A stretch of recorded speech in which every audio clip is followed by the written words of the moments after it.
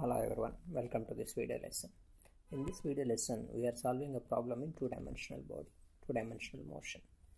Let us first understand what is given in a problem. It is given that there is a body who is projected with some initial velocity u with some an angle theta to the horizontal.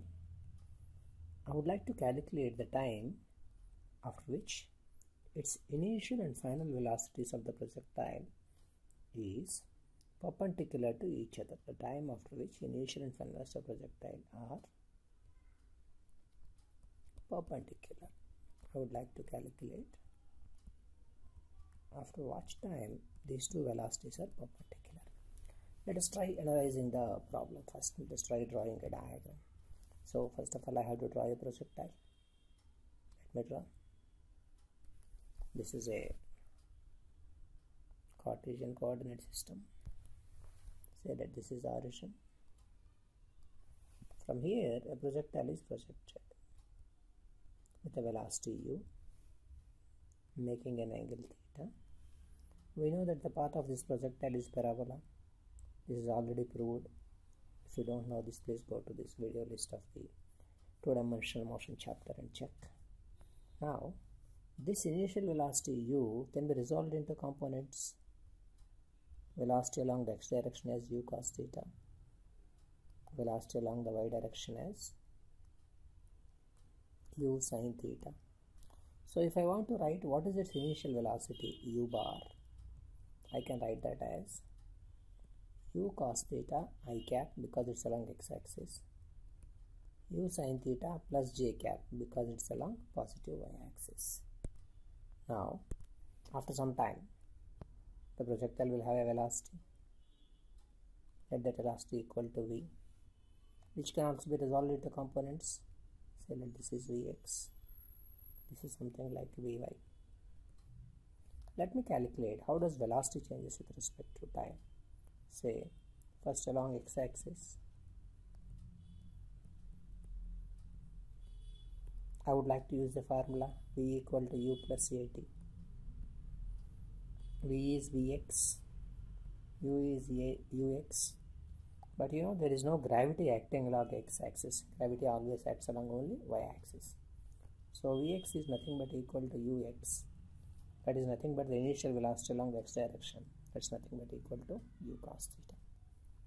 Similarly I would like to know after some time what is all we are calculating is after some time what happens to velocity along x-axis.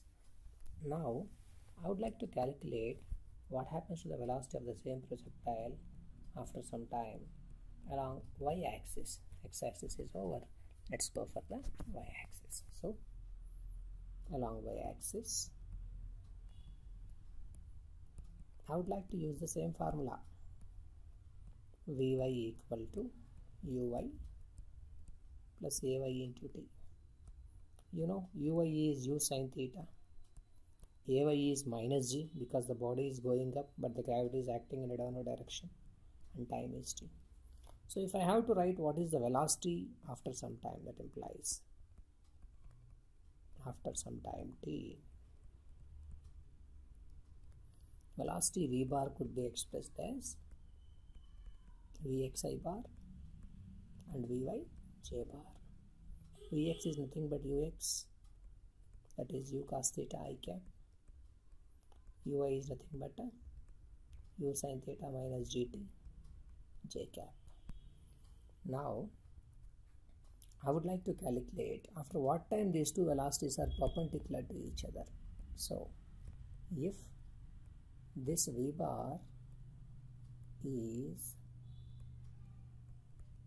perpendicular to u bar, suppose these are vectors. If the two vectors are perpendicular, their dot product has to be equal to 0. So, u bar dot v bar has to be 0. This is because since you know a dot b is nothing but equal to ab cos theta if theta is 90 a dot b becomes automatically 0 that means if any two vectors are perpendicular to each other their dot product shall be equal to 0 so I will find the dot product of these two vectors a bar and b bar and I will equate it to 0. It implies, yeah, u bar dot v bar is equal to u bar is u cos theta i cap plus u sin theta j cap dot u cos theta i cap plus u sin theta minus gt dot j cap. And it has to be equated to 0 you know how to find a dot product? You have to multiply x components of both the vectors and add that to the multiplication of y component of both the vectors. So u cos theta and u cos theta x components. So u square cos square theta plus u sin theta of the first one and u sin theta minus gt of the second one. Their dot product has to be equal to 0. By simplifying this further, u square cos square theta plus u square sin square theta minus u sin theta into gt has to be equal to 0. If I have taken u square common, it will become cos square theta plus sin square theta minus u sin theta into gt equal to 0. We know cos square theta plus sin square theta is equal to 1. Therefore, u square equal to u sin theta into gt. 1 u can be cancelled. That implies time is nothing but equal to u by g sin theta. So, this is the time after which initial velocity and the final velocity of a projectile becomes perpendicular to each other. Thank you for watching. Keep coming for more and more.